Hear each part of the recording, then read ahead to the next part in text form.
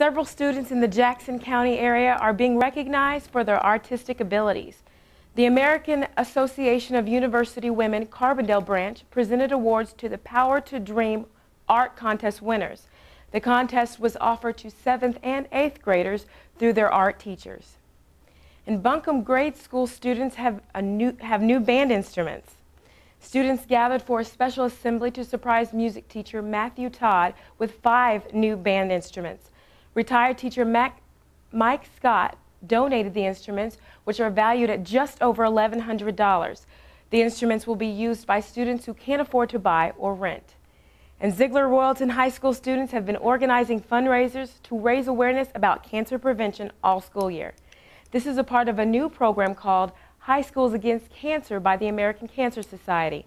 Zeigler Royalton is among the first in the southern region to participate.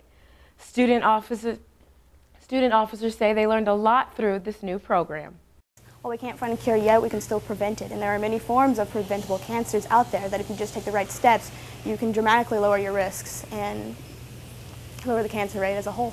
It's really just taught me to reach out and help others, and I, I just, I love it. I couldn't have asked to be president of something better.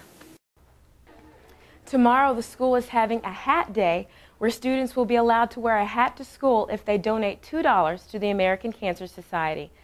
And live in the studio with this week's Schoolhouse Update, Kevin, Emily.